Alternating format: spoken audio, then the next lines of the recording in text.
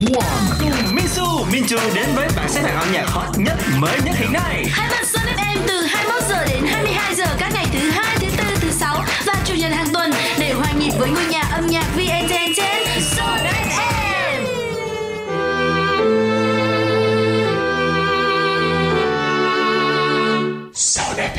Chào mừng các bạn đã cùng quay trở lại với Sun FM Top 40 với sự tài trợ của Hồi Mobifone. nãy chưa chưa có nói xong cái chuyện của anh Vi. Thật ra em không muốn nói nhưng mà bởi vì anh Vi anh nói là còn dư đến 10 phút lận. Bây giờ kiếm cái gì để nói?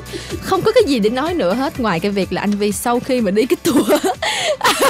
Sao em biết nhiều về cái tour đó vậy? anh Vi ra một bấm cỡ như vậy kìa các bạn Vì em Vi đi ra ngoài đi cái chuyện anh đi chuyện ra ngoài đi đề nghị xin em để Có- phòng thu khóa cửa là có cái bảo vệ MC Có ba điều, Hakuta đứng rảnh nó làm gì chặn cửa lại đi. Có ba điều. Thứ nhất là em có để ý là sau khi mà Vi đi Đà Nẵng về là mập hơn trước không? mập hơn. Chỉ lo ăn.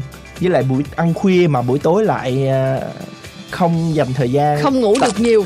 Không ngủ được nhiều cho nên và cái dáng đi cũng khác nữa hồi xưa đi là bộ nhiều quá. hồi xưa là đi chướng 9 giờ còn bây giờ đi 9 giờ 15 đi bây giờ đi cái tướng Sài Gòn chợ lớn Sài Gòn chợ lớn. ok.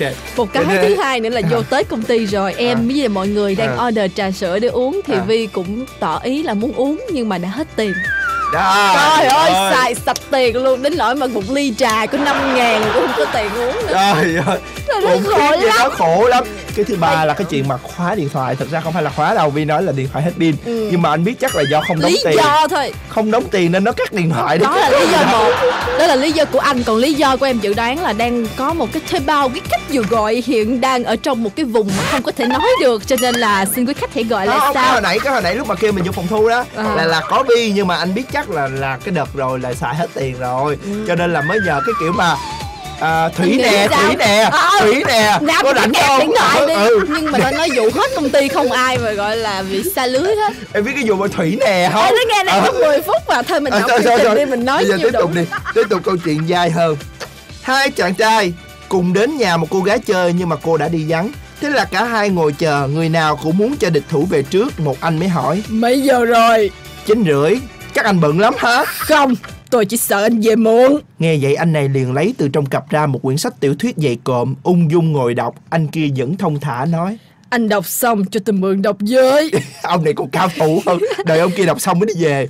Ờ, tiếp tục. Câu chuyện thứ hai đi không thì bảo. Chồng đang xem tivi thì vợ dục. Anh đi chợ đi. Đó không phải là công việc của đàn ông Vậy thì trên giường ngay Lên giường ngay. Tôi sẽ giao cho anh việc của đàn ông. Thôi thôi thôi được rồi. Cái giỏ đi chợ đâu vậy? Câu chuyện thứ ba của em vừa đen lại vừa trắng. Trời ơi. Đã cái gì thuộc về em thì đen hay trắng đâu có quan trọng. Vậy mà có kẻ cứ tò mò về chuyện cá nhân của người khác bực mình thật. Mời các bạn cũng đến với câu chuyện này. Khách du lịch dừng chân tại một nông trại và trao đổi một cô gái vắt sữa bò. Hai con bò sữa của cô mỗi ngày cho bao nhiêu lít sữa? con đen hay con trắng? Cô gái hỏi lại.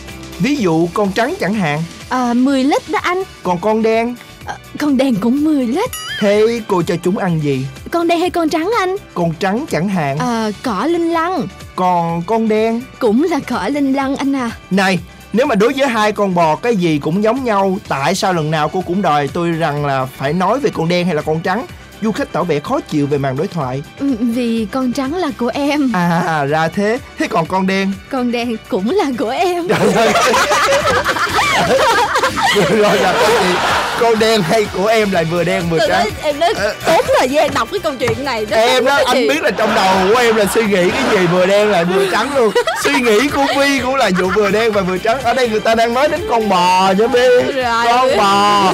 Còn bây giờ chúng ta sẽ cùng đến với ca khúc ở vị trí số 4 Số 4. ta nên dừng lại với ông ca thắng và ông gì mà Ủa tốt.